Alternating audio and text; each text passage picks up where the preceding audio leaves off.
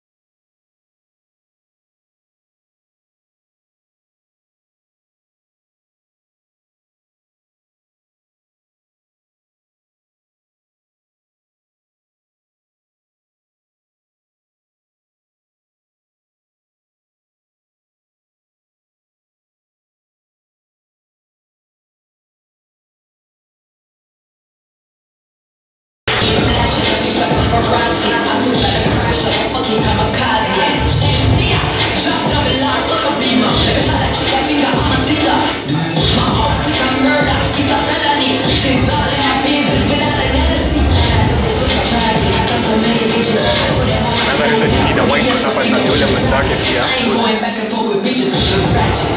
Then my real blood clot money. Can't stop beef cause the water run. Got the type of money that can put you six feet. Call sweet is a thousand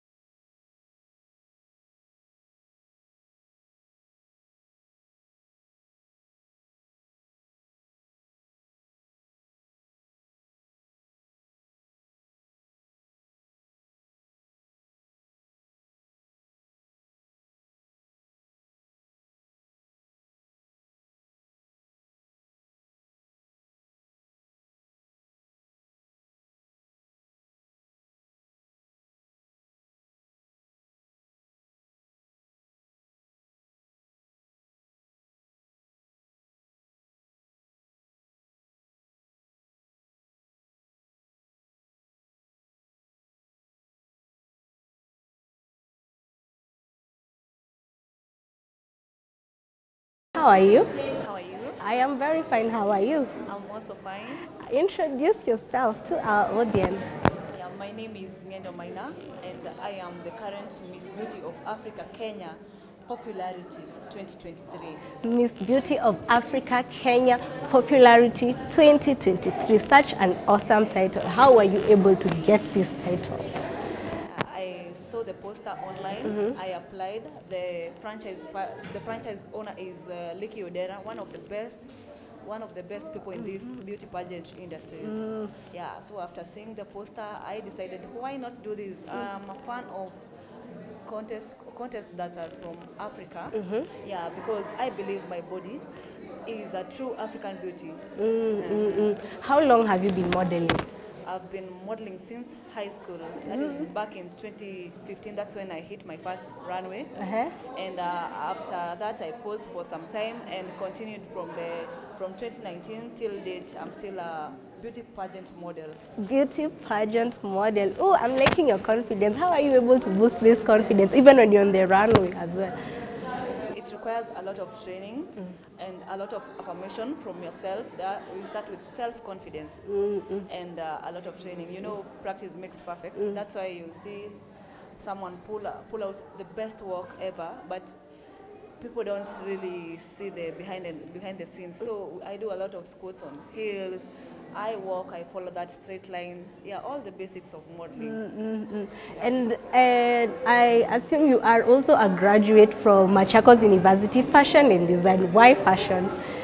Fashion design is one of the best choices of my life. Actually, I'm from a family where most of the people are parent, uh, are uh, they are teachers and doctors, but I had to do it the way I wanted it. It, it was if I miss that being a gynecologist, I'm gonna be the, the next beauty pageant, the next and biggest beauty pageant model. So I had to choose a course that relates with that. Mm, Is it something you always wanted to do since you since childhood, or it's an interest that you gained when you were an adult? something that I learned and uh, I, I started loving it back uh, back in the back in primary school. I would really try and uh, after classes, uh, you know, a public school is a public school.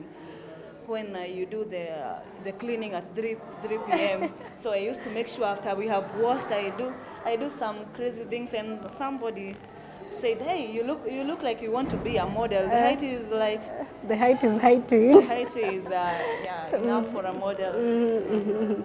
You being a graduate of fashion design and you holding the title of Beauty of Africa Popularity, how has fashion and design eh, been of assistance to you even as a pageant?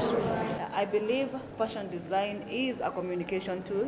That's why you'll see when we are doing the Mata Hat line, we, we have the we have the shirts. You, you buy the shirt to give back to the society.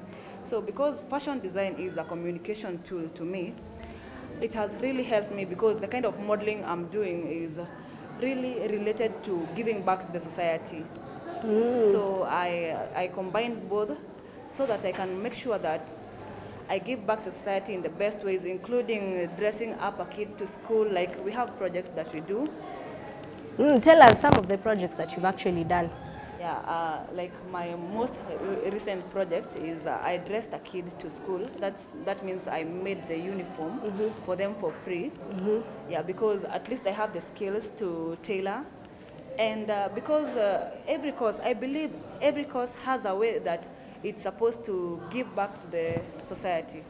So making that garment made me feel like okay, I've really helped despite the fact si lazima twende children's home mm. ndio tusaidie like ile ile kupeana chakula you can as well you as a as a host you can uh, you can interview someone and give them the, the platform to, to to be seen and uh, somebody might help them if they were or something Mm -hmm. yeah. Now, so what more after Beauty of Africa Popularity? So after Beauty of Africa popularity, I'm planning to go and contest for the Face of Nakuru Beauty Contest, again under the same franchise owner. Mm-hmm. And uh, the reason why I'm choosing this, I choose this franchise owner uh-huh. is because he's like a dad. We even changed the name from Liki Odera to Baba. Mm-hmm. yeah, we uh-huh. changed the name from Liki Odera to Baba. And uh, I, I really love what I learn. Like every time I, I get into his contest, I come out a new person, a better person in this industry. And also, being a face of Nakuru means that you, you being a face of the city, you must show people through what what is good about that city, what can they change. Again, I told you that fashion is a communication tool. So using designs to show to show that what face of, what Nakuru city holds is the best part, the best thing I can do for Nakuru mm. as at now. Mm, mm. Yeah. What inspires you every day to wake up and actually be motivated to actually contest in different pageantries? Yeah, you know, modeling is a lifestyle. You have to practice day in, day out, and having that lifestyle means that you you you should go and work out, find a way to be to be able to speak in public, to be eloquent, and to also carry yourself in, uh, carry yourself with decorum. Mm-mm. Any icons or role models that you look up to even in the pageantry world? Yes, I have a local and international. The local one is Bernice Nuna. She was Miss World Kenya 2019, second runners, yes, second runners up. And uh, the, for the international, I um, I, I, I adore R'Bonney Nola, the previous uh, oh, Miss Universe 2022. Mhm, She's also a fashion designer, and uh, she's practicing sustainable sustainable fashion, meaning she does upcycling. Yeah, upcycling. Mm-mm. And even as we wrap up, encourage everyone out there who wants to take part in pageantry as a whole. Hello. I okay, I hope this message helps you. So being a beauty pageant model starts with your self-confidence. So you get the confidence without checking how your body looks. You just you start the best thing you can do is just start now. If you feel the urge to be a, a model, start now. It's never too late to start, even if you are 30. Nowadays, pageants allow any age, unlike the previous, and I'm happy that Miss Universe changed the uh, age limit from 18 to 28 to 18 and above. So at whatever age you feel like you are confident to start, start that time, start now. Mm, thank you so much. Modeling is a lifestyle for her. All the best in the next phase of Nakuru. Thank you, and you are so welcome. You be my audience. Thank you so much. Welcome. Let's take a short commercial break.